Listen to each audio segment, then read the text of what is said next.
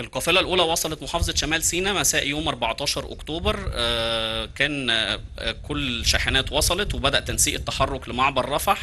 آه، والحقيقة ما كانش في إمكانية ساعتها لدخول المساعدات بشكل مباشر وده اللي دفع عديد من المتطوعين إن هم يفضلوا البقاء أمام المعبر لحين الاطمئنان إن شاحنات المساعدات بدأت توصل لأهالينا في فلسطين وده اللي بدأ يحصل بالفعل فجر يوم 21 أكتوبر بدخول أول شاحنة للمساعدات لأهلنا في فلسطين وكانت شاحنة التحالف الوطني للعمل الأهلي آه، آه، استمرارا ل 10 أيام من يوم 21 أكتوبر وصولا ل 31 أكتوبر كان وصول أو دخول ال 100 وتم ال- آه، إجمالي الشاحنه إجمالي القافلة الأولى ال 108 شاحنة كاملين. بعد كده آه، يعني الحقيقة في الأول بس قبل ما ما ندخل للجزئية دي ما كانش ابدا هيحصل إن دخول المساعدات آه، بتاعة القافلة الأولى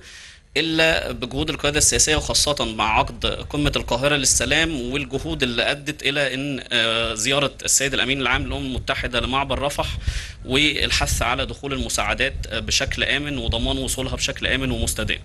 فالجهود دي هي اللي ساعدت في دخول القافلة الأولى واللي مع انتهاء آه، أعمال القافلة الأولى آه، واللي كانت الحقيقة لما بدأت كان في غموض شديد في الموقف داخل فلسطين والاحتياجات اللي محتاجها الجانب الفلسطيني وده اللي دفع بالتحالف الوطني إن هو آه، يشمل في قافلته الأولى مساعدات طبية عاجلة ومستلزمات طبية وأدوية للقطاع الطبي في فلسطين. كلها كانت طبقا للأكواد الدولية المعمول بيها في الحالات المماثلة.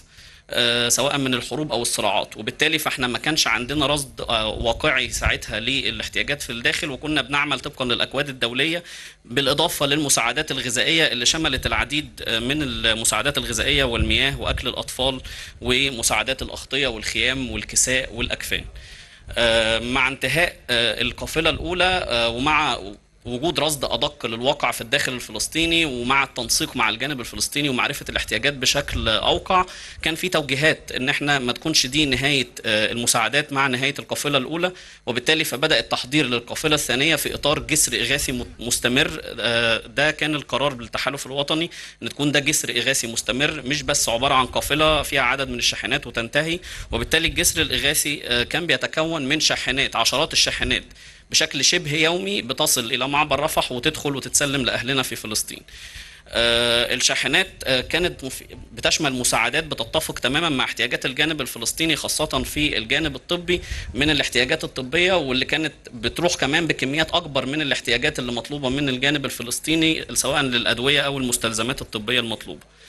آه، بالنسبة للمساعدات الغذائية فتم التركيز في القافلة الثانية على ال easy open أو ready to eat products اللي تقدر إن هم يستخدموها بشكل سريع ما تحتاجش منهم أي تجهيزات أو تحضيرات مراعاة للظروف ال- الحادثة في الجانب الفلسطيني آه، بالإضافة طبعا لعشرات الشاحنات اللي بتحتوي على المياه والأغطية وال- والكساء آه، والأكفان لمراعاة كافة الظروف اللي موجودة هناك.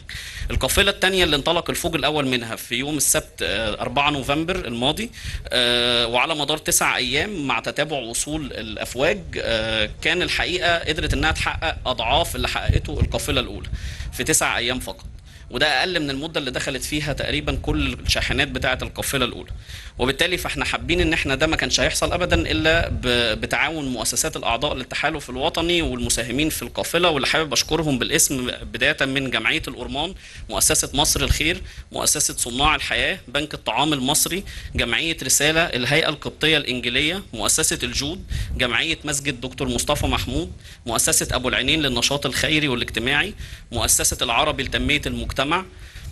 مؤسسة ومستشفى أهل مصر مؤسسة صناع الخير مؤسسة بهية مؤسسة مرسال مؤسسة جمال الجرح لتنمية المجتمع بنك الشفاء المصري مؤسسة نبيل الكاتب لتنمية المجتمع ومجلس الشباب المصري ومؤسسة أبو هشيمة الخير وطبعا مؤسسة حياة كريم.